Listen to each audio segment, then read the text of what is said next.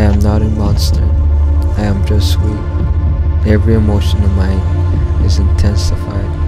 I can hear every heartbeat. I can